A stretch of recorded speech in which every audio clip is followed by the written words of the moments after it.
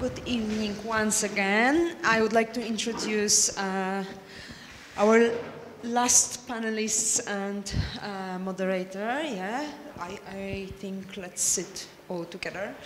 And maybe first uh, a short explanation because the uh, personal uh, personal combination here uh, changed slightly. Uh, it differs from what we have in the program. Uh, Wissam uh, was not able to attend because of visa issue, so his visa expired and he was not let out from Palestine. So we are missing one, one panelist, an ar- architect from, from Palestine. But we have here on the stage uh, Alper Kaskau. oh, okay, your surname, so it's proper. Kazok.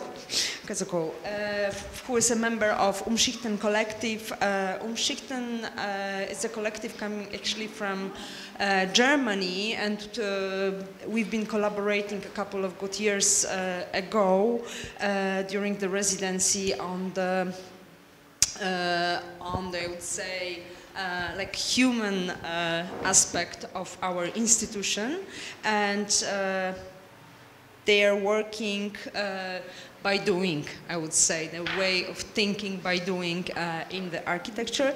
And uh, Alper is here with us because he was invited to take part in the project Everyday Forms uh, of Resistance uh, that will end up with an exhibition uh, next year at Ujazdowski. Uh, I would like to introduce also Joanna Rajkowska, Joanna Rajkowska, who uh, actually was supposed to be in the first panel, so it's also misleading, but we found a solution, and, and Joanna is with us today. Uh, Joanna, is no, Joanna is known from the uh, great public uh, interventions and uh, also deals recently a lot with the issues that are related with urbanity, biotope, uh, Anthropocene. Uh, Ahmad Alaqra. Uh, Ahmad is coming from uh, now from Europe, actually, uh, but Palestinian origin, architect who took part in the residencies, who will take part in the residency uh, in Helsinki in frame of our uh, project.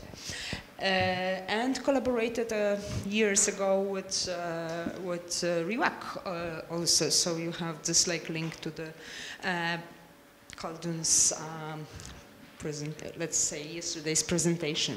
And Simona uh, De Iacobis, it's uh, architect, but also recently I would say a photographer. Uh, Simona is working uh, together with uh, Małgorzata Kuciewicz in the collective Centrala, dealing with the issues of um, urbanity and uh, uh, city. I appreciate a lot your narrations uh, and different ways of reading Warsaw, uh, which is like uh, especially fascinating. So I give you, um, I give you the stage and thank you for, for being here. Thanks, Ika, for the wonderful presentation. So I will not add any more words to uh, uh, for describing our guest, and I will just like to Ahmad to start with the first presentation of the, the panel.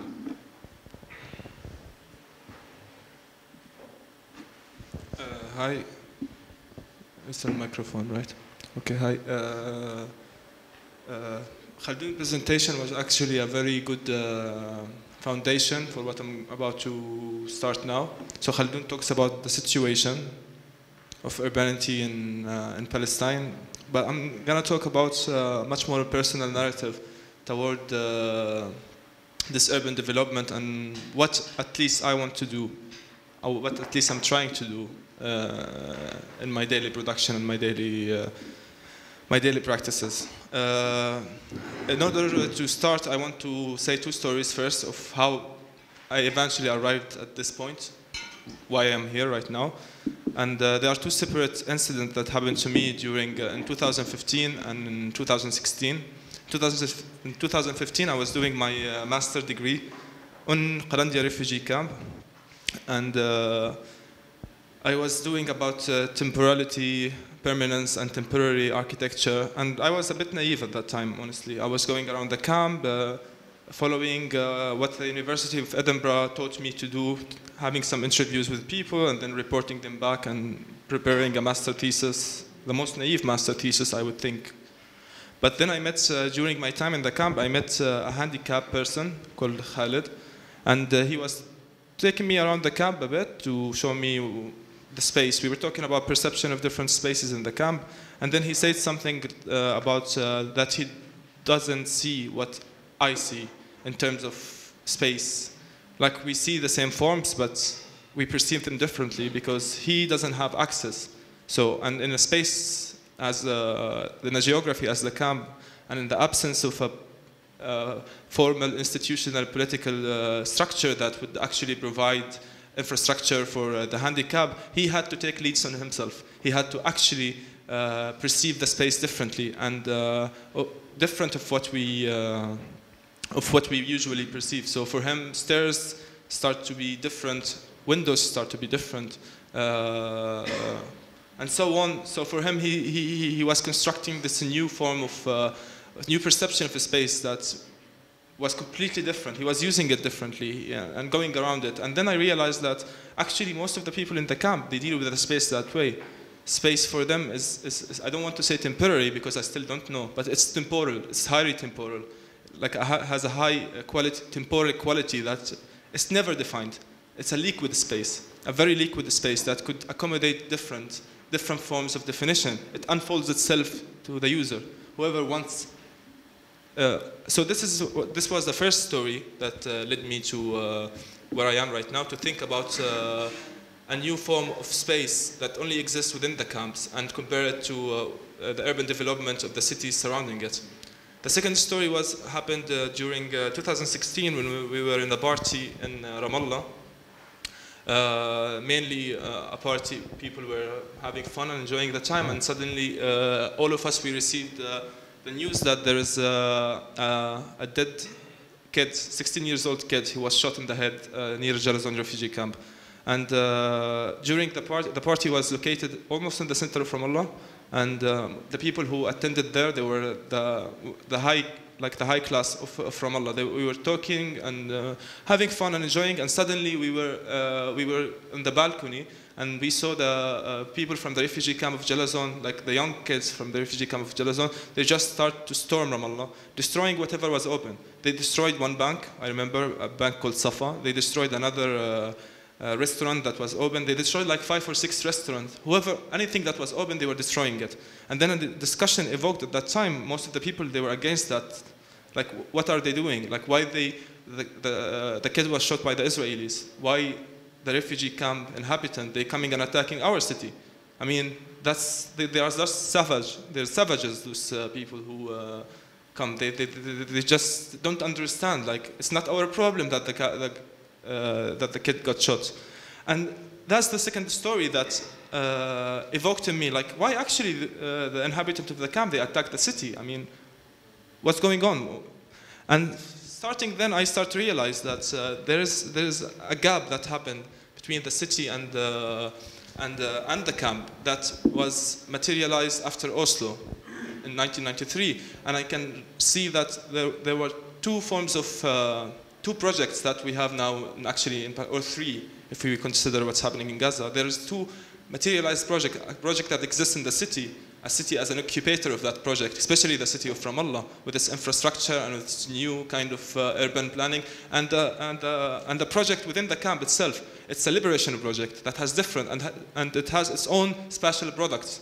So for me, I don't see the camp in terms of temporary and permanent, but I see the camp as a highly temporary place that responds that's very much respond to, uh, to, uh, to, to, to, a current reality that is rooted at some, somehow in the past. Like uh, in all the discourse about uh, migration and space within refugee camps, it's always uh, uh, either about agents, political agency, or either about reclaiming their needs or whatever. But I, I see that they, have, they have managed to create a space away from romanticism. They have managed to create a space that actually accommodate three different times. One that's rooted in the past, one that corresponds to the present, the current need, and one that actually aspire to a future that's not known yet. So the first, uh, what I'm trying to do now in my, in my time in Helsinki, I'm working on something called the Living Room Project. The Living Room Project, I, I heard Sandy yesterday talk about, talk, talks about different form of a living room in the camps. So I just changed it and added uh, Living Room 2.0. So just to, for the copyright uh, issues. And, uh, and uh, so my, my, my, my, my, project is actually an exploration of space that I can actually borrow from the camp. I wanted to take it out from the, I don't want to add anything to the camp. I think the camp, it exists the same, the way it is because it is, it has to be the way it is. It's not my problem, it's not my thing. I cannot intervene, I'm not from there. I don't want to create public spaces inside. I don't want to create any uh, green or vertical, it's not my issue there. The camp exists in that way because it has to exist in that way. Other, other than that, it's a political question that is there.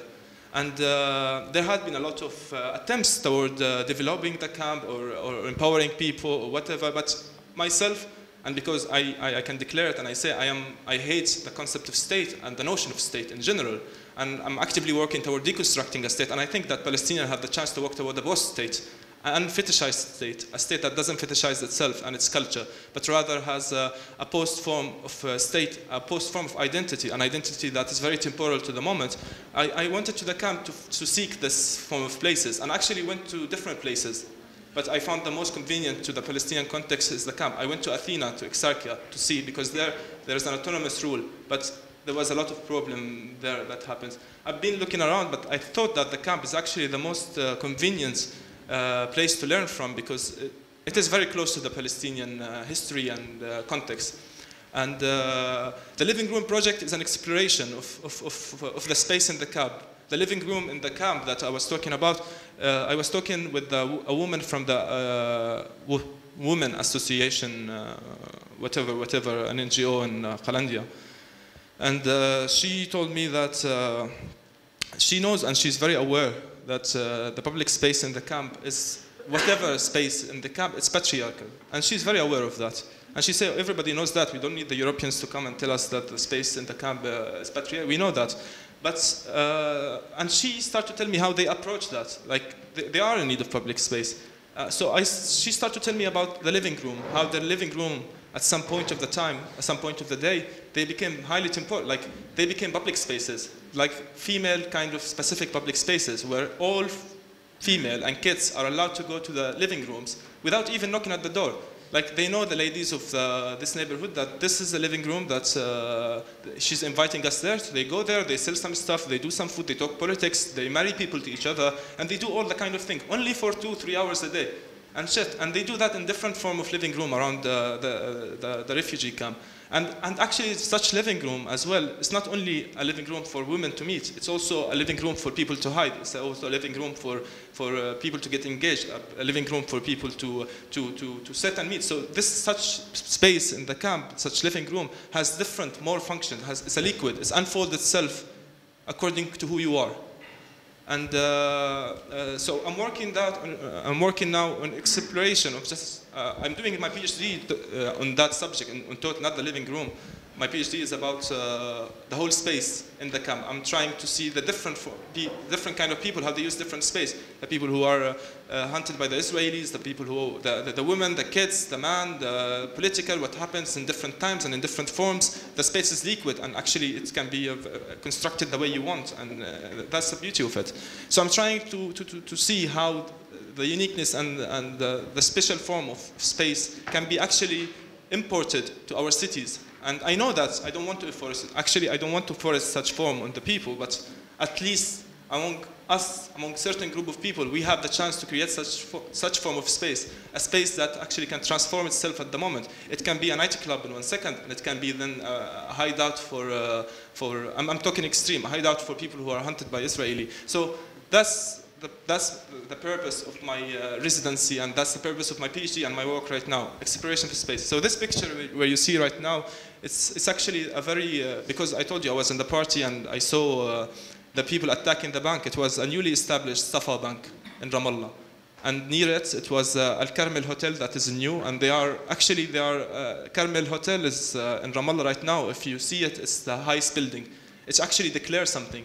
At night, you stand there and you see from all around Ramallah, this huge new building that is, has a beautiful light and it declare and it declares a project, declares the project of the city, and uh, seeing that at night uh, and seeing uh, the, the bank attacked, uh, I start to experiment with, with what's going on. So uh, this is the picture of the two buildings together at night uh, because that's what I'm aiming to. I'm aiming to represent space actually in terms of uh, the liquidity, and I thought the best. Uh, best picture to do so, the best form of to do so is to overlap different forms, different times and different lights over, over the time and see what's going on.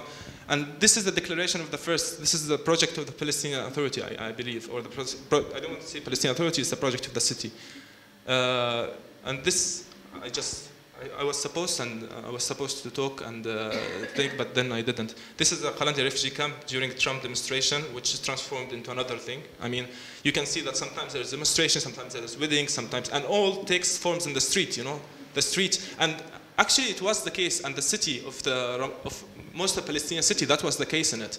I mean, I keep giving this example, like. Uh, people nowadays they are getting much more annoyed about the traffic in Ramallah. And because you get stuck you have to go in the morning and blah blah blah. And I think it's all part of the new project. Because in the past our time also was, was I mean you can hear, you can know I mean that Arabs have they don't have specific time. It's not I mean I don't want to play on cliches but we used to have our own uh, means of negotiation with space. I mean if a guy stopped in the streets and put the four flasher light in the streets, you just pass by him. You can curse at him, but it's normal in our daily life that a guy stops in the street. It's fine. But recently, and because we are being introduced to a very new liberal, highly new liberal system, our time becomes, becomes uh, means money. So you have to work from 8 to 5, and if you come late to work, you have to uh, stay more late. Otherwise, it's deducted from your salary that after that you cannot pay.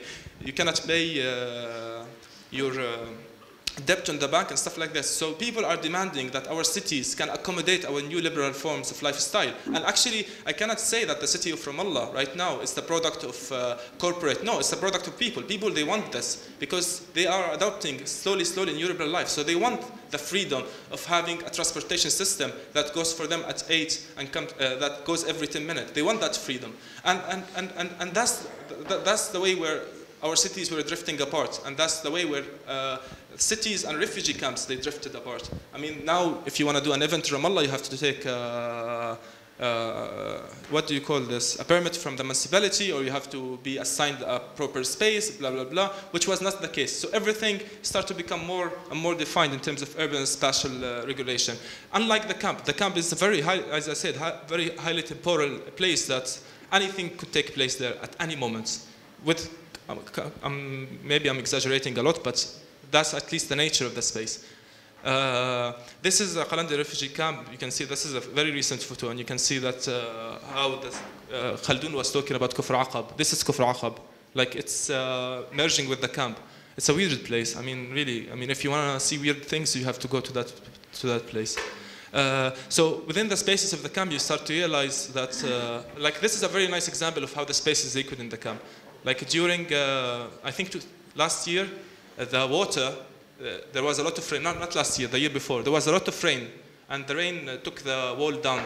And suddenly, uh, near, it was in Shu'afat refugee camp. And so th those kids, see what they have done. Like, they just went out on the security road outside the wall that was fallen, and they start playing football, you know, like for, and, and, and, and, and they just start playing football there until the Israeli army came and, and just kicked everybody out. I mean, that's what I'm saying about the liquidity of uh, the space. I mean, the space is once a security wall. People got the opportunity to play uh, kids, not because they don't have uh, football. There is a huge uh, football ground in uh, Qalandia refugee camp that actually is sponsored by Real Madrid. Like last time I came, there was a picture of Cristiano Ronaldo in the Qalandia refugee camp. I don't know why. But I mean, not because they don't have. Uh, they have, but they have the liberty to do so. They can reclaim the space in a moment. And this woman, her house, I don't think it was destroyed by anything. I just think it's unfinished. I don't think if you can see her. Oh, you cannot see her here. But uh, she's, she's here. I mean, she, it's, the house is unfinished, but she was using, uh, use, she was putting uh, her laundry, uh, cleaning her laundry, put it to dry from the sun. I mean, it's not, I'm not saying that this is what we want. I'm not saying, I'm just saying the approach toward the space. I'm not going to build, uh, I'm not going to import a the destroyed house and fabric toward our cities and say this is our mean. No, I'm saying the way people approach the space is actually a very resilient way, you know? Like, yeah, we can use anything, we can convert everything, we don't wait for architects and urban planners to come and tell us that way we should walk. We can maneuver around this. We create our own dynamics in our space. And actually, yeah, it's very dangerous, actually. I mean, now there is a safety concern now in uh, the new elite uh, class Ramallah. Uh, some people, we were talking about outside, there are people who are concerned about safety. Some people are moving to the city of Rawabi because they are more safe than Ramallah. I don't know what is it. So, uh, uh, what we see here, and like, she just used it, and that's it. And this guy, he's uh, doing his own pigeons while he's having a living room for his friends. Sometimes pigeons, sometimes living room, sometimes whatever. And uh, this is not important, I think, so much. But it's, it's about the story of uh, Khalid, the guy who's handicapped, and uh, the way he was ex- explaining the different forms, how he, how his house, and a very uh, detailed level, how his house he can enter access from the from the window. So uh, the main door became a storage, and he organized all his plan around things. So the window became a door, and then the, the- he changed it to a storage. So he have a, his own perception that he only can see. You know that that's the beauty about it. And this is the kind of living room that in the camp it's, it's a whole network. You know, so the, the, the space. It's not confined anymore with boundaries, and it's not confined with time. So a, a, space that can be liquid, you know, even if it's a living room now, it could be anything later. And so this is what I'm doing uh, at the moment. And thank you.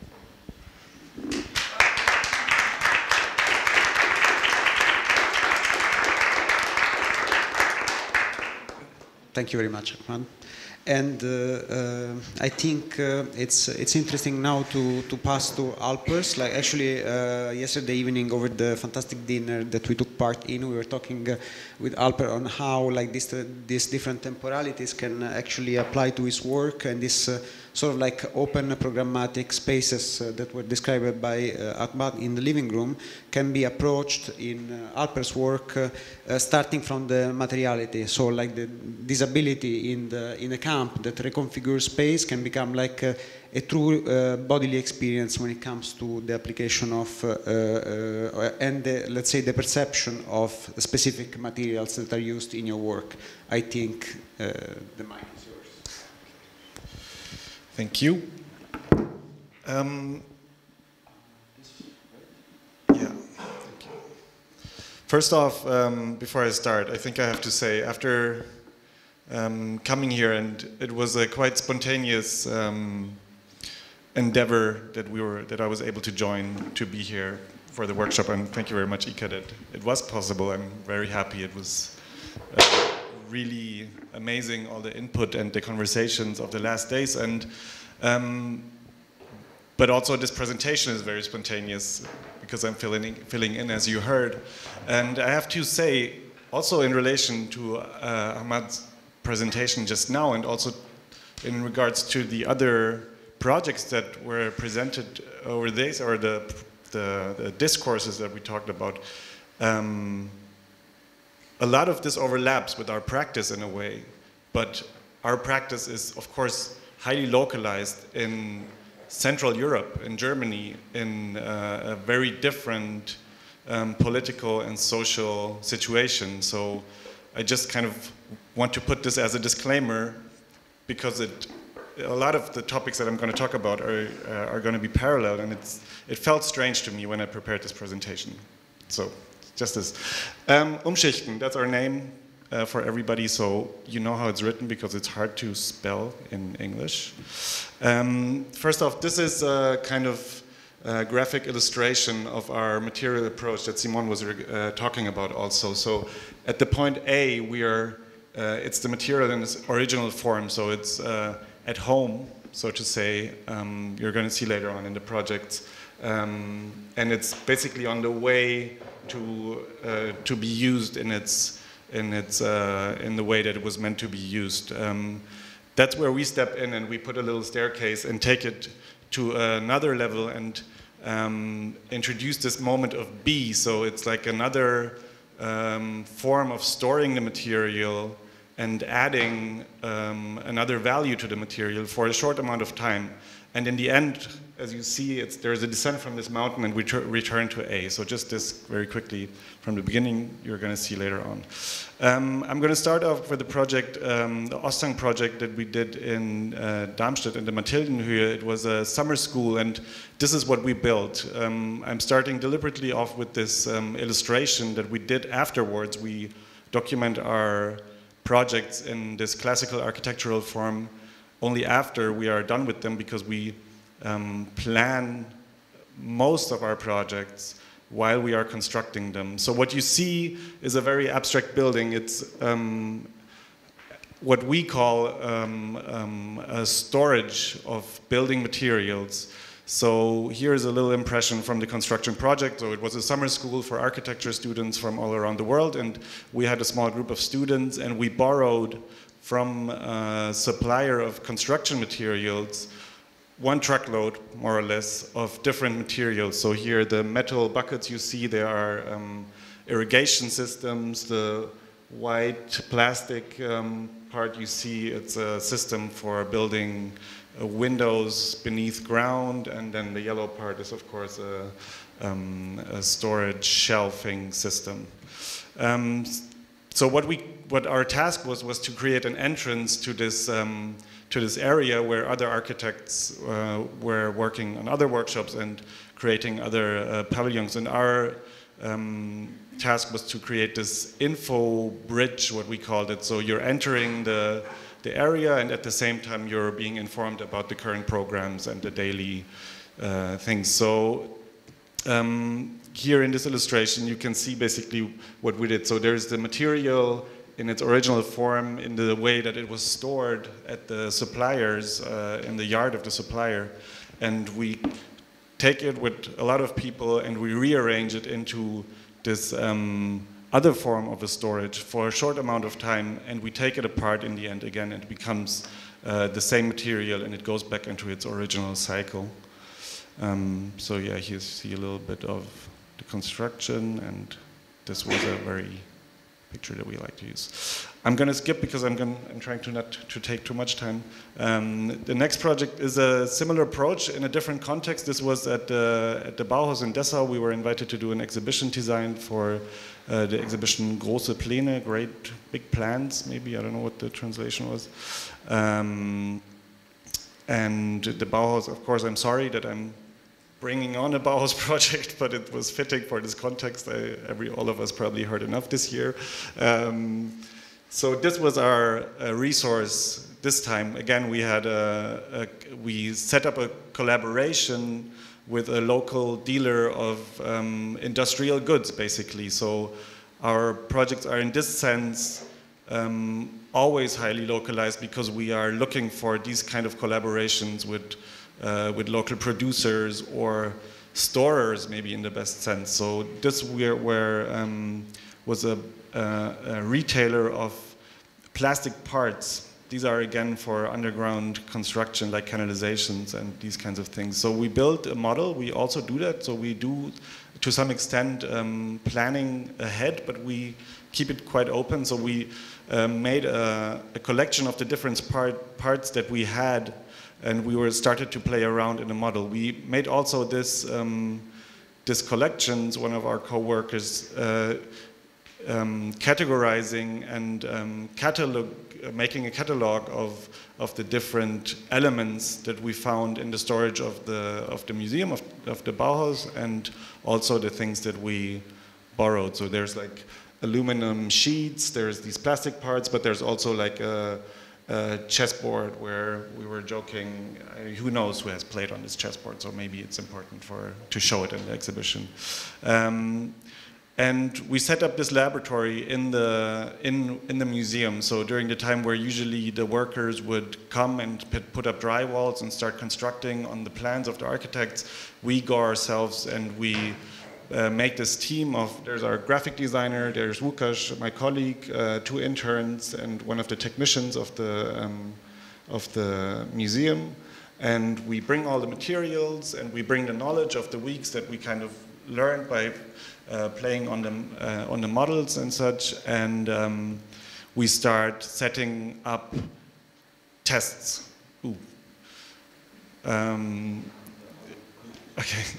Um, so we touch the material and we try to find out its properties and how to connect it and what possibilities we have and how we can accomplish the needs also in this case of, an, of, a, of a scenography for an exhibition. Um, this is a very dear uh, element of ours, these clamps that we use a lot and we also have a lot of them because we, we love them. um, so these are all kind of prototypes that we went through over the process. Um, these, these stripes of MDF were left over from the previous exhibition, so also something that we talked about with ICA for the approach for, for this edition here. And so in the end, this is what, uh, what the exhibition looked like. And again, this was the point um, after we were done, after we came back to the office, after everybody uh, regenerated their batteries. Uh, one of our um, lucky interns got the task of reconstructing from uh, photos and of course their experience also the plans and this digital model of the uh, of the project to document and also to um, to yeah to make the, the, the things that we learned about these materials uh, more permanent. So here are some impressions, and you see the connections. They seem uh, it seems uh, a little bit complicated, but all of these connections are made in a way so the material is not hurt. So this is really a mantra that we uh, say over and over. We don't hurt the materials because they are borrowed, and we're giving them back. And there's a form of trust that we are uh, asking from the suppliers of the materials. So this was also a, a really a nice uh, collaboration with the curators because they were also, of course, challenged to work with this kind of um, very um, uncertain and um, speculative mode of um, installing their works or organizing their works in the space.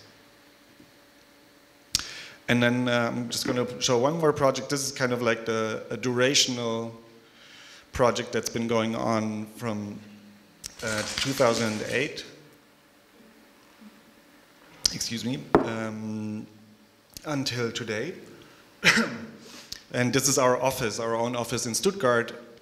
Uh, some of you have seen it, uh, where you have visited us, and I'm just going to go quickly through the story of this uh, of this office because it also describes a lot of the principles that we work with in uh, our, in our general practice. So this was the first form of the office. We're based in Stuttgart in a former industrial hangar that was used to repair, uh, repair trains and buses uh, and which was uh, not used anymore. And so it was uh, given to a cultural center or a cultural venue where they do concerts and stuff, and a bigger part was given to uh, to a, a, group of artists that were setting up their um, workshops and um, studios there.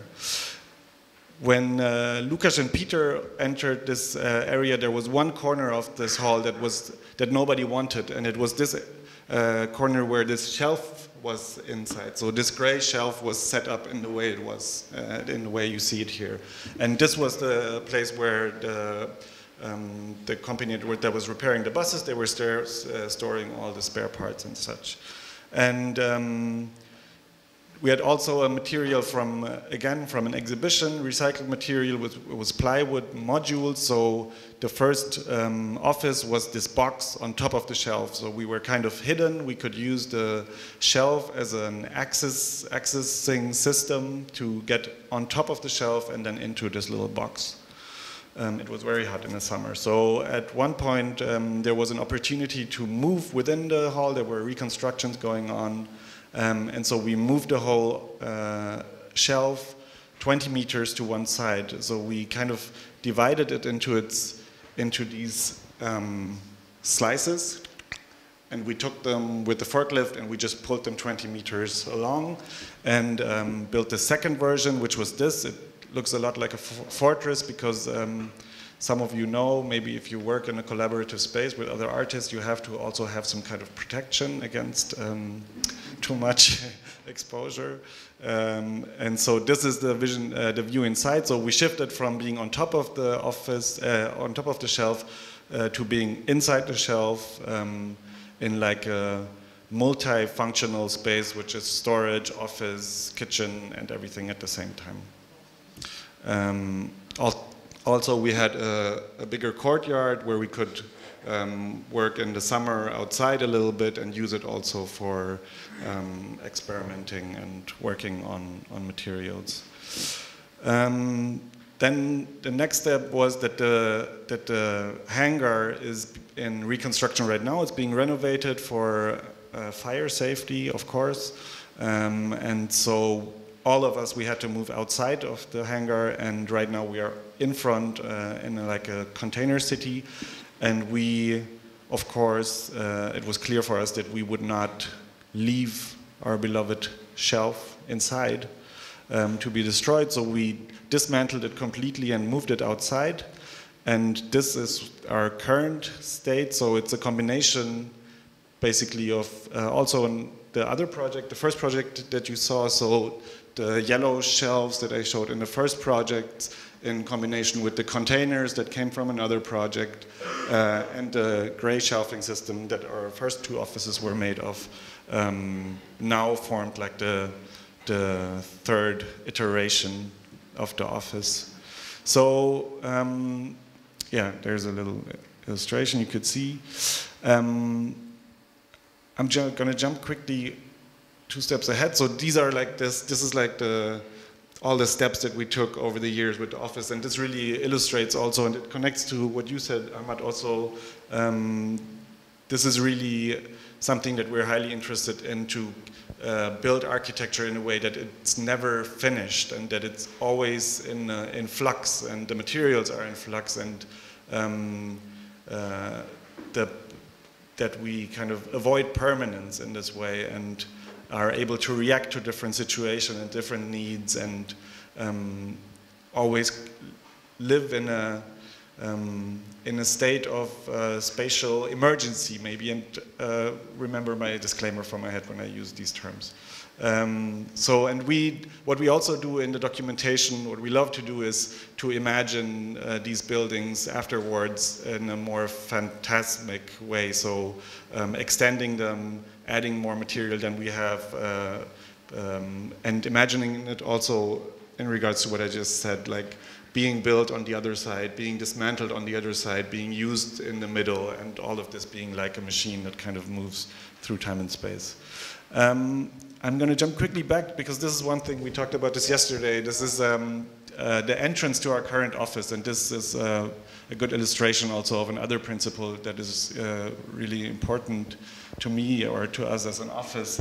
This is uh, the staircase that we use to get into the office. So uh, it's, um, it's an old staircase that we found in the hangar many years ago, and we weren't using it. And now that the situation was that the uh, actual office space is on top, it was perfect to use it. And uh, you have to use this uh, ladder, which has only a rail on one side, uh, and which is probably not um, legal anymore to use. Um, and then on top step onto this situation where there's no handlebar and you only have this one stick and then you have to kind of reach or um, feel secure about your step. And this is something that uh, is also um, in all the other projects that you saw, a principle that is important for us, this responsibility that you take for your own actions um, in, uh, in the way that you move through spaces and in the way that you use architecture and also urban space, that you realize that not everything around you is uh, insurable and safe and taken care of, but you have to be aware of your surroundings and make um, make decisions what your next step is going to be and what the dangers of your next step could be. Um, yeah, I'm just going to finish on this. Thank you.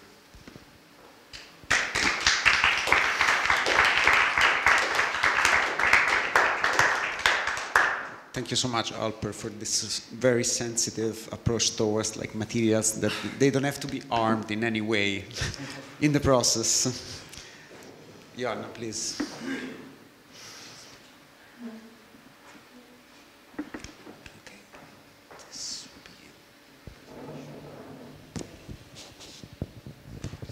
I'm completely out of sync with the uh, predecessors. because um, yeah, I should have been in a different panel. Um, but anyway, um, The other person on this panel yeah, it is also actually about the space and uh, temporality.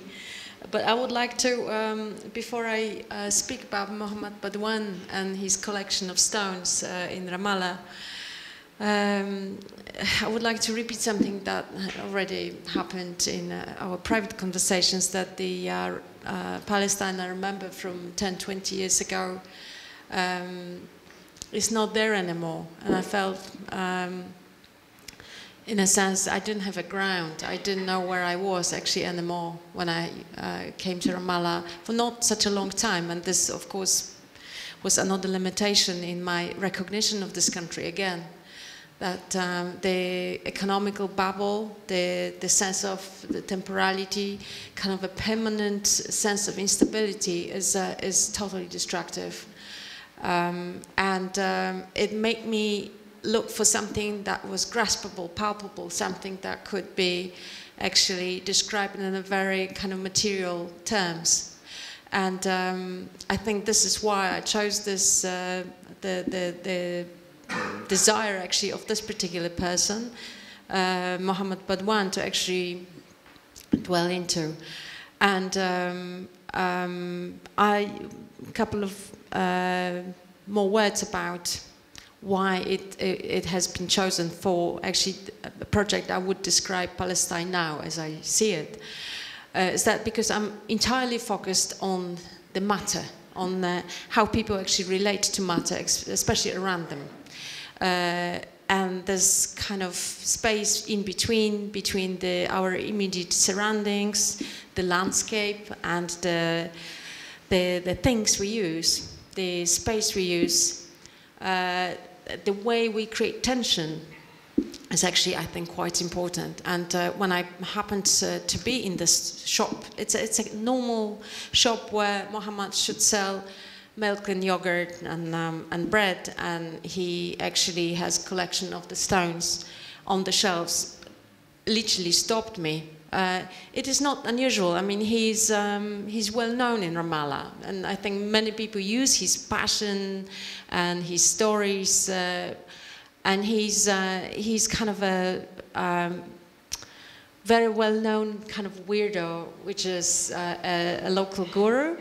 Uh, what I found really amazing is that this, uh, he has a personal uh, story and personal attachment to each stone separately, and for, the, for him, they, are living entities with the story, with the faces, with the uh, um, kind of inner life. And uh, I think I thought this is uh, quite amazing.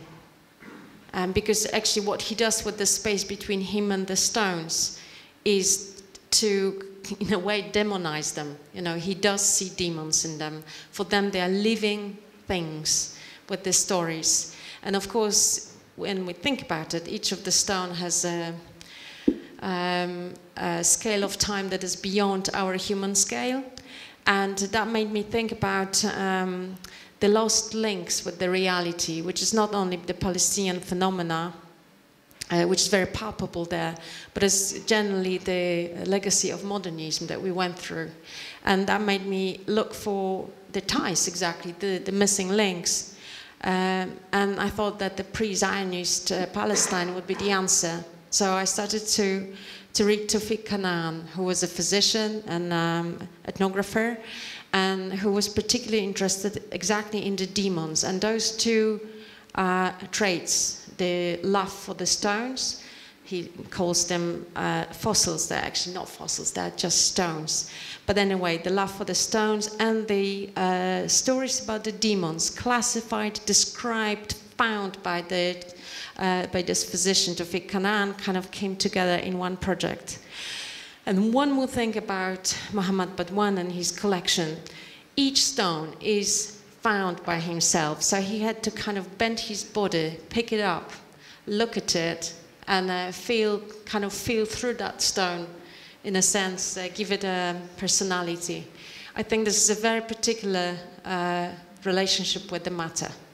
And this is exactly how the demons are created, because of course this is, this is the creation that kind of electrifies reality, gives it the life, and, uh, and also makes it into partners, agents, something that is our partner.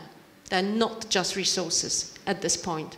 So I thought this is, uh, this is absolutely it. This is the guy in Padura refugee camp. No, he's uh, in the city of Ramallah. Dear Zama?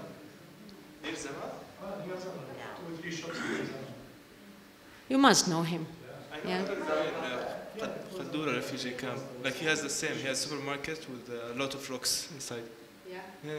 But he's okay.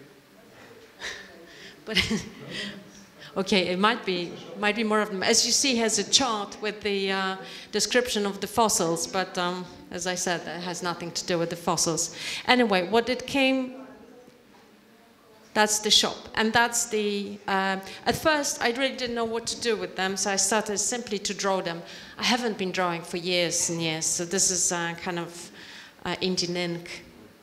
And uh, but that gave me a clue that these are actually uh, persons, yeah, entities, living entities, living beings, in a sense, uh, materialized in Muhammad Badwan's stories. That one should be vertical, I think. Anyway, and um, and then there was this Palestinian.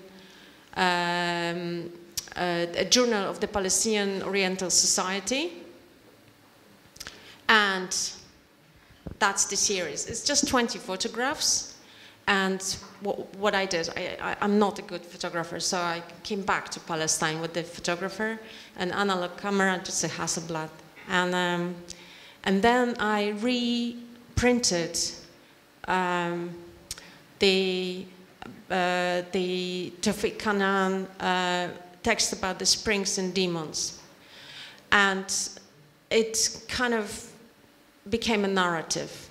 So we know that the planets in whose hands human fortune and misfortune lie were divided by all Semitic races of antiquity and are still by the Palestinian into good and bad planets. This is Muhammad Badwan and his wife, who is an absolute angel. He forgave him absolutely everything, including the fact that he sleeps alone in the back of the shop with his stones. the two bad planets are Mars and Saturn, but the latter is not is most ill-omened one. Uh, told me that these are actually fruits, uh, but I saw planets in them. This is the back of the shop. The jinn, which is the demon. Demons live in the first place in the interior of the earth. Once they come out, hen- yeah, once they come out, uh, I don't know the Hebrew and I don't know the Syriac and I don't know the Arabic, but anyway, these are the words which describe it and illustrate this. But I'm sure one of, some of you do. The spirits, to whatever category they belong, appear as all the demons only during the night and in the dusk.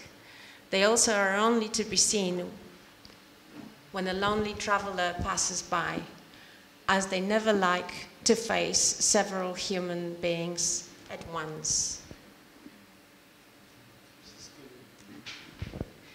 Many of them try to injure the passerby by frightening him with their noise, shape, or misbehavior.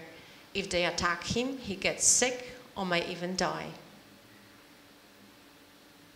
They come from the lower world, and therefore we meet them generally in places which have a direct connection with the lower regions. Trees whose roots go down into in the interior of the earth, cracks, caves, springs, and wells, which have a direct or indirect connection with the above uh, named original abode of the demons. Yeah, that one is beautiful. Lowliness, desertedness, darkness, cracks, caves, canals, trees combined with the spring assure the habitation of that place. For every object with such a situation is thereby a favorite abiding place of the spirits, since it has on the one hand a direct communication with the interior of the earth, and on the other, and on the other hand belongs to the planet Saturn, And as these demons are blind and deaf, they do not yet know that their master, King Solomon, has died, and dreading his punishment, they still continue to work. These spirits are almost always described as having a majestic stature and a charming form, wearing beautiful clothes and costly adornments. One may, recognize the jinn ladies from their eyes. The pupils are perpendicularly elongated. If, on the other hand, he commits adultery with such a female jinn, he is lost. These females have a particular inclination to human beings, following and imploring them to come and live with them. The jinjinat, I guess, anyway, the female jinn, employs sometimes different tricks to entangle men. In the case of that one, the passerby observes at times a black she goat. It is believed by some that if a human being has the exceptional chance of catching one of these chickens, it will change at once into a lump of gold. He fell in love with her and, gently approaching her, begged her to accept him as a lover. As she showed no inclination towards him, despite all his requests, he committed suicide by cutting his throat as he could live no longer without the enticing creature. In 24 cases, the spirits are good. Four of them are Christian saints, 29 are Mohammedan walis. An exception is the camel, which always represents a bad demon. Even in the explanations of dreams given by the Falahin, I guess, at present, camels are always a bad omen. And some of them are in meditation, and saints, while some of them roam around the source, they pray. And that's a particular story, maybe too long to read.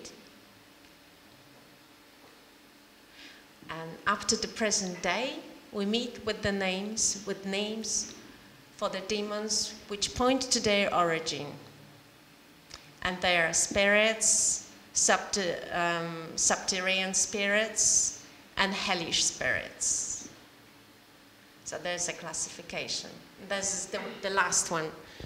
So I actually thought that this is, um, I mean, the key to actually Muhammad Badwan and his mind, in which the whole idea was born. Actually, that the uh, Tawfiq Canaan uh, texts are um, absolutely, absolutely the best match to create the, um, the, the exactly the missing link that I thought that the Palestine needs so much at the moment. I'm not sure if if I'm right, but that's my uh, shy attempt to um, kind of touch it.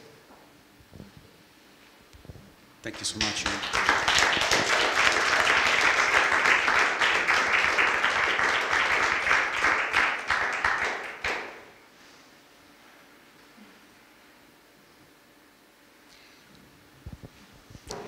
Well, I will allow myself to open up like the, the Q&A, the questions to, to, our, to our speakers.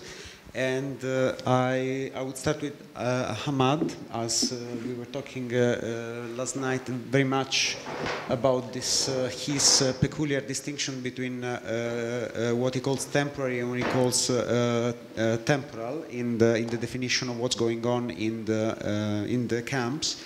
And I would like to ask you to expand a little bit on the on how this feature of that we've seen also expressed, like this notion of time, we, we've seen expressed uh, in different ways through the other presentation, and this impermanence that we discussed about yesterday, and this fluidity, this constant change that you try to portray in your in your work uh, through different medias, how this impermanence can be a tool, sort of, that or something that we can learn from in order to uh, react to what's going on in, uh, in the, the everyday changing of the Ramallah uh, city as we've been we heard it described as a incredibly like as Joanna couldn't even recognize the city for how much it changed for the worse of a certain kind of uh, like neoliberal market economy driven sort of space which is rather permanent and very defined so how we can crack through that with using learning from the Uh, so I th- the, the, the thing is with permanence comes uh, easiness. Easiness in the sense that it's easier to occupy us if we are permanent. It's easier to occupy us if if if if, if the, those political structures meaning the Zionist Israelis uh, uh, uh, are aware of where we are where we live are aware of our spaces. I mean I think during the first Intifada, they hired an architect. The Israeli army hired an architect, uh, and they did a report on the old city of Nablus on how actually to infiltrate it because so it was so hard to infiltrate the city of Nablus. So they hired an architect, an urban planner. Our cities right now in Palestine, and due to different circumstances, including us as Palestinians, like I, I'm, I'm not saying just because we are a victim of political structures. No, us ourselves are, are, are transforming our cities into those permanent infrastructure where our things are defined. It's defined where to walk. It's defined where to uh, where to uh, where to have recreational things. It's defined where to eat. Everything in our cities are, are being uh, defined, and it makes it easier to occupy us, make it easier to identify us. Now it's easy for the Israeli armies to come to Ramallah and just take anybody because they know where is Al Manara Square, they know where's everything happening. I know, I mean, uh, and, and, and, and, such things, I mean, I, maybe I gave you the example yesterday uh, of this institutionalization of space also happens on, on not only on space, on everything. Like, uh, and it's been painted with those nationalistic kind of forms about resistance and about the future state of Palestine. Uh, they're building a new, uh, a new uh, uh, project in Jericho called Nur Riha, the, the, the, the, light of Jericho. So it's like a solar panels oriented kind of uh, project. They uh, will generate 1.5 megawatts of uh, electricity through solar panels. And the Palestinian Authority has been bragging about it since long. It was funded by uh, one of the most, uh, uh, a fund, new investment, Palestinian investment fund, and they think it's a strategic subject that will actually help the Palestinian to, to decrease the dependence on the Israeli electricity. And, and, and this project is actually in Jericho, and, and, and you know, like it's, it's a very institutional project. So there is those funders and there is those CEOs and there's those all kind of people that they, they manage it. And in times of crisis, I believe such project will, will, will, will despair, like it will not function anymore. Such project, need maintenance, you know, and, and with the collapse of an institution, like as we've seen happened in the first or in the second intifada at least, like an institution didn't exist anymore, like it was hiding, like Abu Ammar was surrounded in his uh, al-muqata. So with the collapse of the institution, and it could happen at any time, I'm not saying that it, it, it should happen, no, it could happen. Such projects will never function and will never benefit us so uh, what I was saying that such projects they should have the quality of impermanency. They should be they should have a social root. They should be within the social uh, realm, not within the institutional realm. And I saw that in the camp. I, I, was thinking that rather than uh, such project be implemented uh, by institution, the money should have been to people, and they should help people to build those uh, solar panels all around refugee camps, the West Bank, in Gaza. it will make it harder to to to to, to corrupt or to to to uh, destroy such projects when it's in the hands of people. It will make it at least harder. You know, they can do it still, but it will make it at least harder for them. Why do we make uh, our occupation uh, easier? Why do we make our occupation cheaper? I mean, we are. This is our agency. And in that sense, I saw that in the camp. They still make the occupation. Uh, they're still occupied, but they make it hard occupation. You know, uh, Israeli army they, they pay a lot of attention before going in the in the camp. any decision about the camp, it, it will be discussed so much before an intervention happen because the space in the camp is impermanent. Anything could be expected from it. It's like the old city of Nablus. They were saying to us, nobody were allowed to go to Yasmin uh, neighborhood in Nablus because the guys who were living there, they only know the space. It was a maze. And among this maze, they, they already had uh, booby trapped, booty trapped, or whatever they call them, prepared for whoever comes inside. The, this impermanence is our uh, next solution. I, I, don't want our impermanence to be a burden toward us. I don't want us to, uh, to, to, live, uh, uh, no, I want to be able to, to create all of our new things, our all uh, recycling, solar energy, panel, women empowerment, all these forms of things. I want to create them in our own terms, in the, such impermanence terms, that they can adapt to our nature, to create a temporal identity, an identity that, that is a result of a moment, that can be rooted in the past, but we shouldn't create a new Palestinian state that, uh, that, that believes in the olive tree and the, the mosque and all of these kind and repeated them in all of these past. We should create a temporal, an impermanent temporal identity. And I think we can find this, we can learn from this in the camp and import it to our cities in the future. And uh, to connect with the with the other two presentations, what do you think about like how the materiality of the camps could sort of like be um, included in this sense? Like the we are agents which transform material constantly. We reshape the surface of our planet. We we reuse materials. We pre-cycle, uh, as Alper showed us. What's the condition there that could, uh, you know, sort of enable this impermanence, but from a point of view of um, of the substance of which the camp is actually made of? What do you think?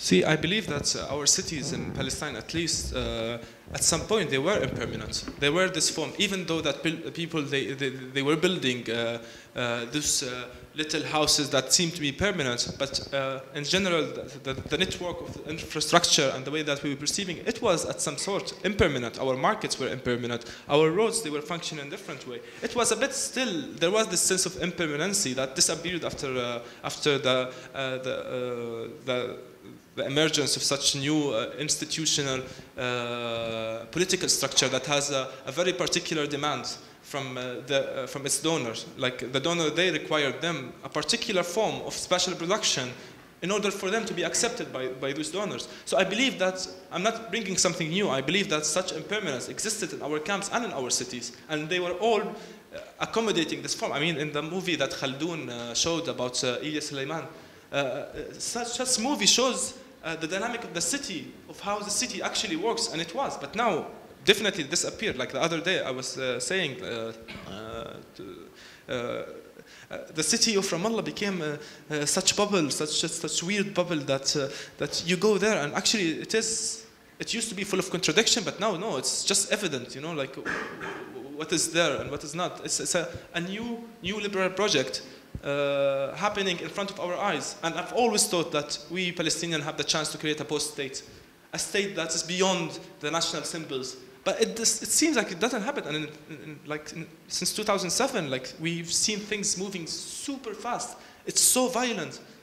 It's really so violent how, uh, how, how our identity are being formed, our national identity are being formed. And, and, and, we still see that uh, Palestinian, when they, they hear the national anthem flag, they stand. When they hear the, see the flag, they, they salute it or they, they stand for it. They, they still have respect for these new symbols that I, I, I, I couldn't really understand, I cannot understand anymore. I mean, uh, but I think if you just go back like 20 years ago and see how our cities were and just start from there again, I think we can find a beautiful uh, solution.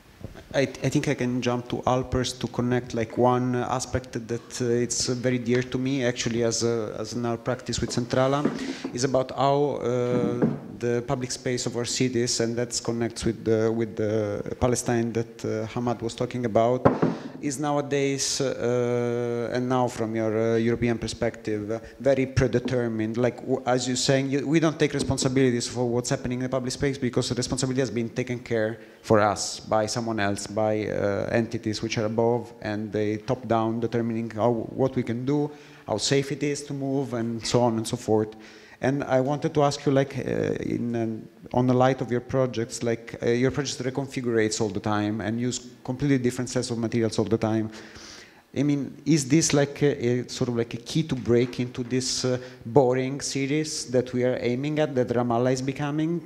So can we counteract this uh, endless boredom of Central European cities in which like everything is how it's supposed to be, in this, in this sense?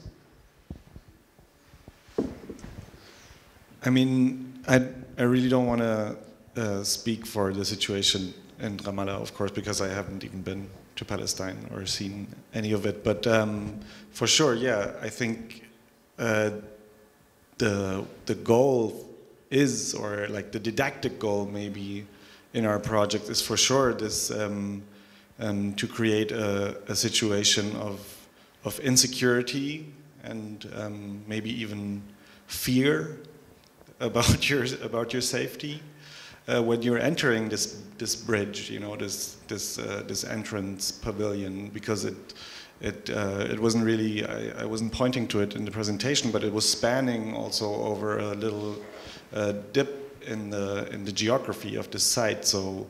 Um, and you could see through it. So you were crossing. It, it's not deep; it's 1.5 meters or something. But you're kind of trusting your your safety to this building, which uh, doesn't look like anything that you are that you're used to. It's not. Um, it's not this um, the classical or this uh, typical um, event event structure architecture. You know, like with rigs and all these things. So um, yeah, I think for sure it's this is a this is a big goal. But what I um, one one remark that came up from Ahmad's um, presentation because you showed this uh, the system of the living rooms, which I found uh, quite quite interesting. Also in understanding the um, um, the refugee camp as, as what it is. And I don't think that so much in the materiality it is, it is a factor there because it, it is concrete and stones and it's, it's, very, it's very hard to, to adapt. You know, it takes a lot more effort and time. Of course, they do it, but it has a, maybe um, a slower um, speed. But um, this uh, seeing, understanding many living rooms as a connected space or as a connected building and understanding all of the, um, the, the refugee camp as one architecture and not a collection of many buildings. I think this is an, a very interesting, interesting point that you were that you were making with this illustration also. Um, and I think this is maybe this could be related to our situation in the situation where we work in, in, in Germany and in, in Europe. Um, this is of course a goal, but a lot of the projects, I think I was telling you yesterday, a lot of our projects, um, they happen so fast that they are that we are just quicker than the regulators. So they don't, they never, until they have our application on their table, we are already disappeared. So it uh, it works in different in different. And I think it's beautiful in this context that Joanna introduced like uh, another like concept, another sense of time, which is the geological time, somehow which is like atemporal in a sense because it's so long that we cannot even conceptualize it. And somehow, when we dig out, out stones, somehow we dig out like our innermost fears, which are demons, and and uh, they basically they they reveal what we did to the land, and how the land kind of react on us and gonna survive us anyway. So I don't know if Joanna want to share uh, with us like some other, uh, you know, where this project comes from, in from your history, personal history. How you, did you arrive to this? Um, um, through rubbish, actually, because um, yeah, I didn't want to talk about it really, but what what um, is striking in Palestine now its amount of waste. I mean, this whole acceleration produced amazing amount. I mean, amazing, horrible amount of waste. And of course, uh, the management of the waste is also a subject of actually apartheid, segregation, uh, but not only. And that's the problem. Because if this was just done by Israelis, that we would have a straight answer why we kind of swim in rubbish. And the iconic olive trees, garden orchards, yeah, gardens, yeah, are just completely covered with plastic um, which is heartbreaking, absolutely heartbreaking. Uh, and that was a sign for me. I mean, I didn't research, I'm not the research artist. I don't do research-based projects. If I, if I was, I probably would dive into it because it is fascinating. The materiality of rubbish, the amount of it. There's something that actually, if you think, you know, in terms of, in, in scale of, geological time it's going to cover us soon, not only in Palestine, everywhere else. I mean, of course, we know that we already created a sediment, a plastic sediment. But anyway, uh, the, the fact that the ground disappears and then we do not have the direct direct access to it that we don't see it anymore. You know, we don't see. We see the what's on it, which is rubbish. Uh, made me think about people, whether there are people who actually look down what's under their feet and whether they feel it, they feel the connection anymore. Because you know, I mean, I absolutely adore the, uh, the, the, the rocky Palestinian ground. We don't have it here, and the, the, the view, you know, in springtime when it gets this kind of a little greenish um, kind of tone, and then when it dies because it's too too dry. This is amazing. This is kind of a primeval landscape, and this also disappears. Even the landscape disappears under the, the waste, especially when the, they build the settlements. Then the, the amount of industrial rubbish is just overwhelming. So therefore, I, I, the finding um, Mohammed Badwan was like I mean, really revelation that there's someone for whom there is a pure landscape and a pure, you know, kind of matter un, under the, uh, his feet. So that's that's it. Great. And that's the time for the public to have some questions, maybe. Bogna. Um, okay, I have a question to Ahmad. During the war in Warsaw, the Second World War, architects and urbanists were thinking about rebuilding the city after the war. What will happen when the war will be finished and the enemies will be gone?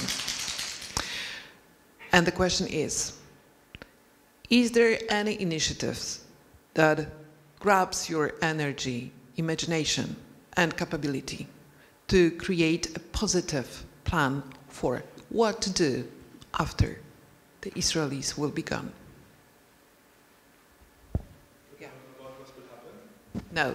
Are there any, you know, projects that connects you and um, in terms of, um, you know, efforts to plan what will happen when, you know, you you you don't um, you don't need to be in a constant uh, ping pong with, uh, with what is happening because of the Israel. There will be a time when, you know, the situation will be changed. And my question is, are there any initiatives that are planning, you know, the urban development of Palestine, not in reaction to what Israel is doing?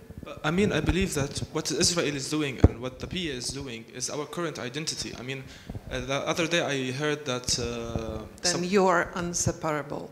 We are inseparable. I mean, how come we can separate ourselves? I mean, how come we can plan a future without Israel right now?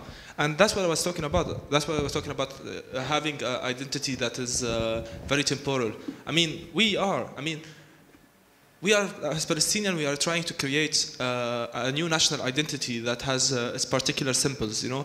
And I believe that this is very bizarre as our different realities as Palestinians who lives in diaspora, who lives in the camp, who lives in the village, who lives in Ramallah, who lives, and the classism that's happening right now, each of us has a very, very, very different reality. How come we can say that uh, a person in the, in the, in the, in the refugee camp uh, in Jordan or in uh, Qalandia can identify with the olive tree, the same one who owns land as a peasant up the north from Allah. How come they both, they should have the same symbolism? I mean, that's what I'm talking about, the, the current uh, liquid identity that based on individual individual realities. The camp is a reality right now, and it's very much entwined with the with, with, with the uh, what's happening with the Israeli occupation? Why should we separate and why should we plan a future without Israel? It might never happen. That's why what I'm saying, our products should be the result of the moment. And that's why the, where comes the impermanence. Because we don't know what will happen. Everything can change. And everything can change, actually. Uh, uh, and we can deal with that when the things change. You know, uh, that's what I mean. I mean, we are not in the place to construct an identity that is permanent right now. We are not in that place. I don't think we have, we need to do so we are people under occupation, and we need to always know that we are under occupation. It's, it's, it's currently, if we choose to ignore that fact, that fact, it's up to individuals to ignore that fact. Like, but as, as a people together, we are, we should always remind ourselves of that fact. And so that's why I don't actually believe that we should plan for the removal of the Israeli state. Uh, I mean, I don't believe in, uh, in such thing. I, I know that there's a lot of people doing so right now, But I mean, I don't believe in such things.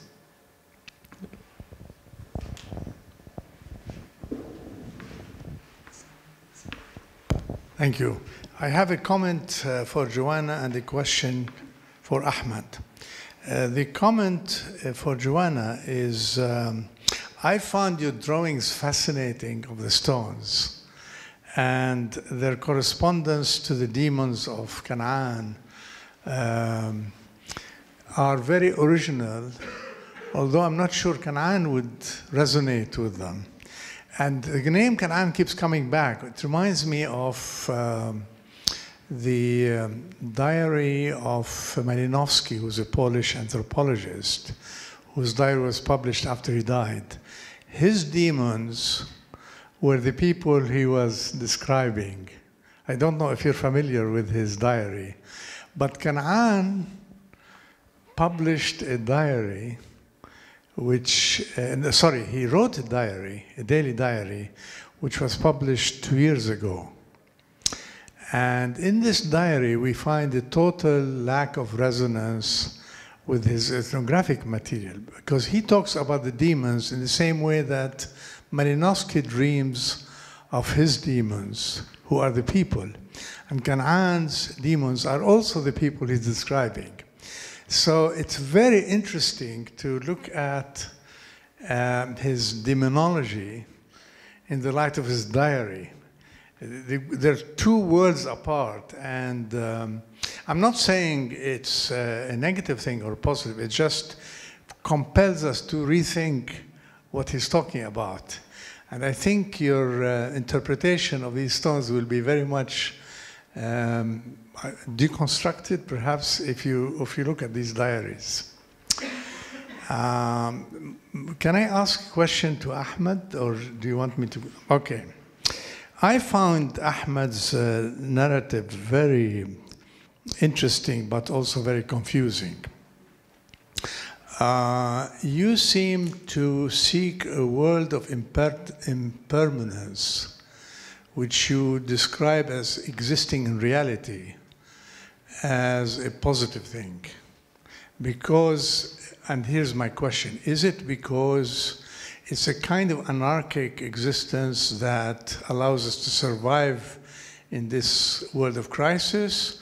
Or because you want to confuse the Israelis who are seeking to rationalize our life? Or maybe both. I mean, your, your description of impermanence seems to find its dream situation in, in refugee camps. But this kind of, your enemy seems to be bourgeois smugness, which is emanating from the new rationality of planning that is being introduced by the neoliberal economy. But it's exactly this impermanence that drives people mad. I mean, it, it, it literally drives them to leave the country. So, uh, what is it that you're saying? I don't understand. Is it something we should seek, or that it exists anyway, we should just live with it? What, what are you saying?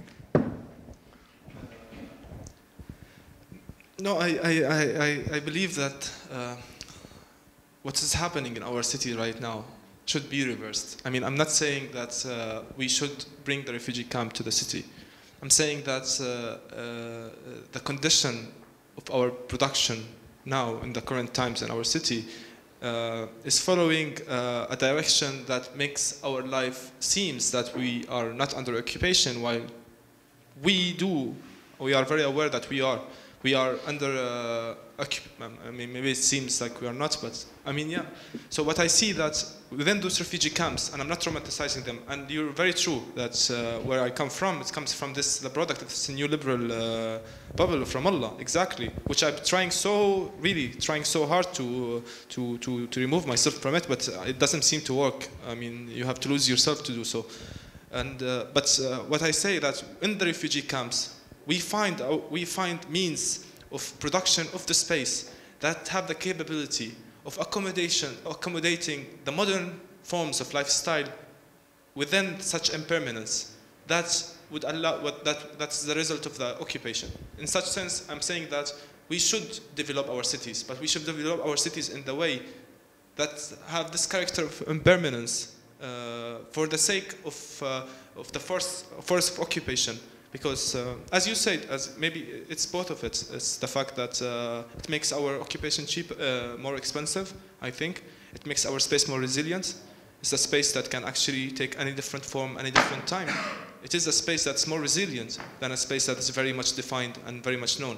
Like I, I, I was talking today and I was saying that uh, uh, it could happen like uh, if, if a third intifada happens in, in Palestine and uh, by any chance Israel uh, drop some bombs on Ramallah, eventually all the glass building of Ramallah, they will collapse and by themselves they will transform to those forms of impermanent structures by themselves. Maybe we need to wait for things to happen by themselves. Maybe I don't need to import things into the camp because I believe that most of the buildings in Ramallah that have glass, uh, they will just appear by themselves. The glass will go down. I mean, the Qattan, the new Qattan foundation, it will be destroyed by itself. And it will become an impermanent space, a structure that is, people seek for different use. And maybe this is what we should do. Maybe I shouldn't do anything.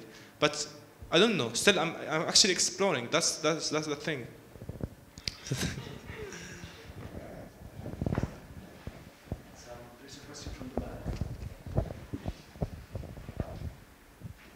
I mean, it's, I guess it's, it's more a comment uh, than a question, and, and for many of uh, what I heard uh, so far, and definitely when there was this question of where we should look right now in Palestine, and, and I would still insist that refugee camps are a very interesting place, not only for Palestine, but for the rest of the world, that they are writing books after books of the end of the nation state and, and how people can live in the nation state, and as if here people cannot even imagine what does it mean to live without state, yet Palestinian refugees were living without state for 70 years.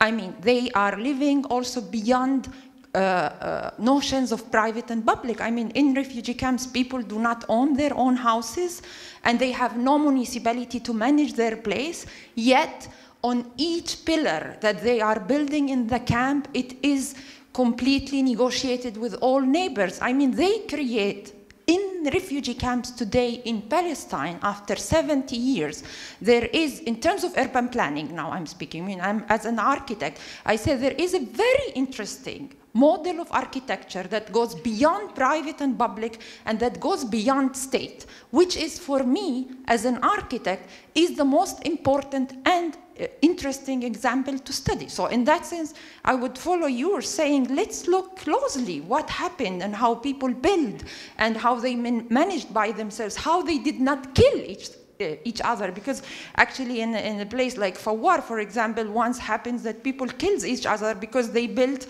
on the street and, and they were actually against each other. And, and you can imagine what will be happening while in Palestinian refugee camp, the level of violence is so low with people that are managing themselves. So I think that also Warsaw has a lot to learn from refugee camps, not only us Palestinians. So just to begin with, by uh, answering you, but, but then I was a bit, um, not, I would not say disturbed, but uh, sort of alerted by the comment of the garbage. And I would like really to address this. And I understand fully it's something that I have been thinking about. I mean, as an architect, I worked all the time in the public space. And definitely, you know, you build public, you do a lot of workshops teaching kids to take care of plants and not to throw garbage, and you never succeed, right? And in that sense, I do not want to blame occupation, but I would like also to put your attention on, as architects, the first thing that we think is how you belong to the public. And if the public is your enemy, what happens? Right? I mean, we have been living under Israeli colonialism, and the street was for us the place where our kids were killed, is the place that is dangerous, is the place where we should not go in the night. And to add on top of this, we had the arrival of the Palestinian Authority, and we never actually managed to process what is public for us. We never had a state. So if, I mean, it, here it's easy to say public is state, is state managed, and all is fine. While in a place like Palestine, it's not as straightforward. People hate public. I mean, they hate colonialism, and therefore they hate public.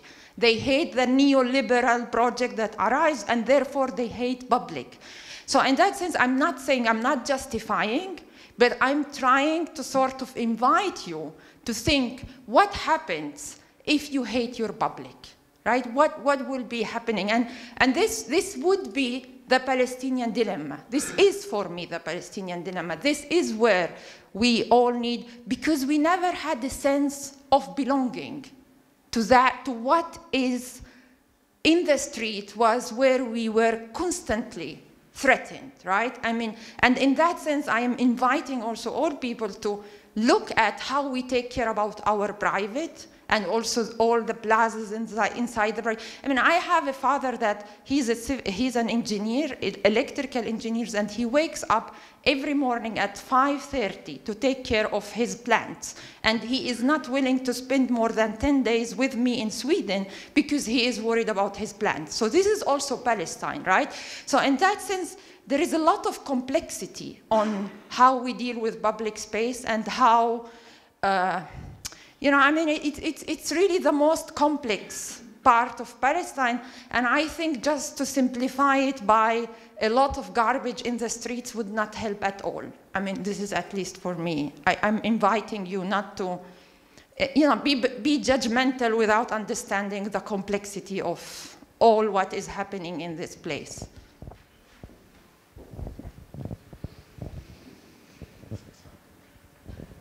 I feel obliged to say something.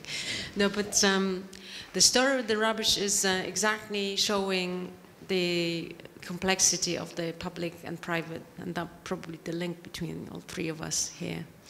Um, and uh, I fully understand that complexity. I mean, I fully, I probably don't fully understand, but I'm trying to fully understand that complexity, and I'm really not judgmental. This is why I I was very happy finding Mohammed Badwan in, in his way out because he's the light, really.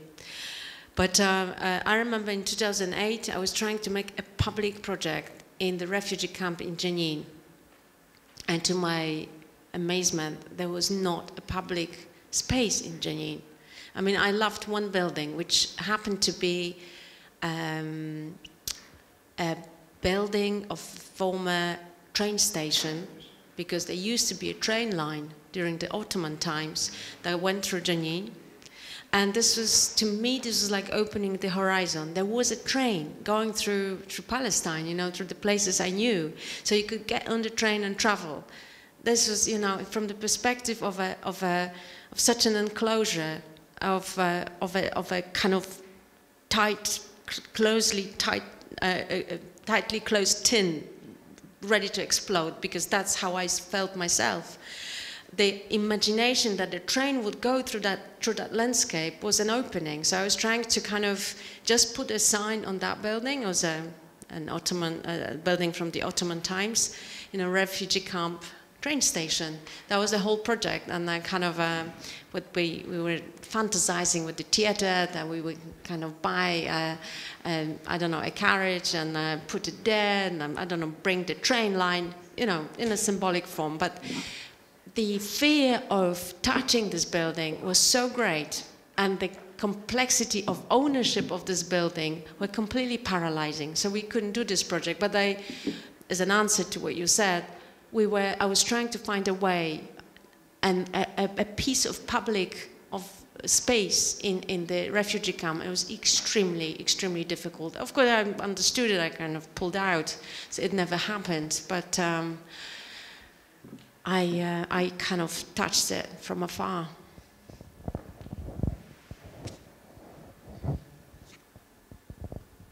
No more questions. Maybe we can actually, we are out of time also, so we can uh, close it up, Ika. Maybe. Oh, no, no, no, that's not the question. I thought I saw.